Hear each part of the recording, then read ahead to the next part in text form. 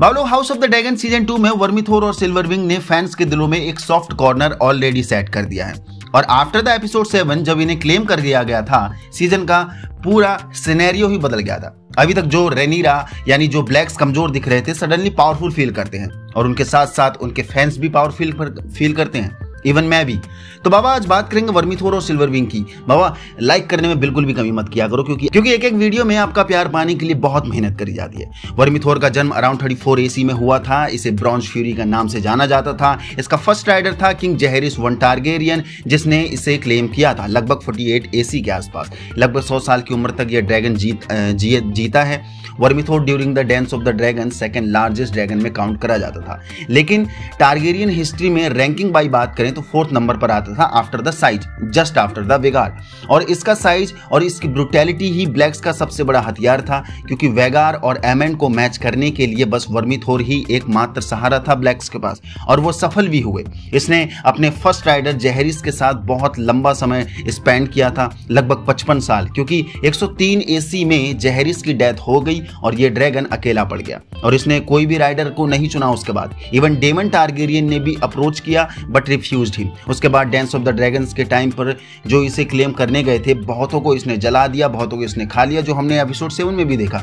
लेकिन मात्र bastard blacksmith Hugh Hammer के सामने ही इसने घुटने टेके। दूसरी तरफ़ सिल्वर विंग की अगर बात करें तो इसका भी जन्म अंदाज़ा लगाया जाता है कि 36 एसी टू 46 एसी के बीच में ही हुआ था।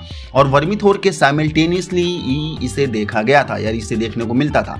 अराउंड हंड्रेड ईयर की इस ड्रैगन ने भी लाइफ जी थी।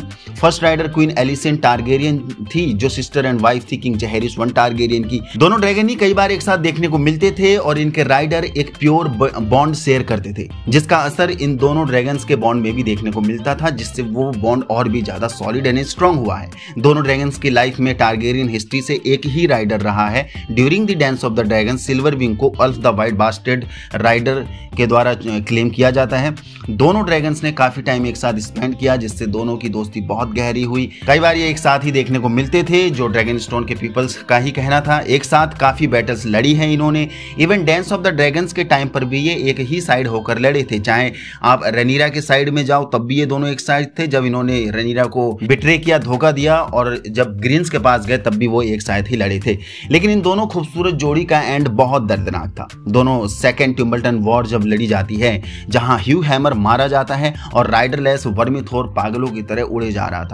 जहाँ वो सी स्मोक से भिड़ जाता है, जो एडम ऑफ़ चार हज़ार सैनिकों के साथ हाई टावर की ओर चढ़ाई कर रहा था और ऐसी दर्दनाक फाइट लड़ी जाती है वर्मीथोर और सिल्वर विंग सी स्मोक के द्वारा, जहाँ सी स्मोक भले साइज़ में बिल्कुल वर्मीथोर के टक्कर का नहीं था, लेकिन उसने काफ़ी हद तक वर्मीथोर को घायल कर दिया था और विंग्स भी डैमेज कर दिए थे।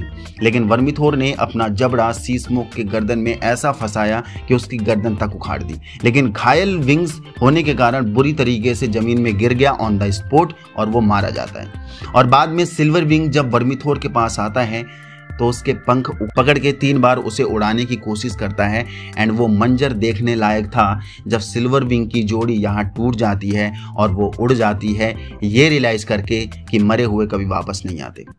तो बाबा, ये था वर्मिथोर और सिल्वर विंग की केमिस्ट्री बाकी यहाँ तक पहुँच गए हो तो उसका मतलब वीडियो पसंद आए पसंद आए तो लाइक कर दीजिए नए हो तो चैनल को सब्सक्राइब कर दीजिए और भी किस टॉपिक पर वीडियो बना सकते हैं, ज़रूर बता सकते हो। मिलते अगली वीडियो पर। जय हिंद।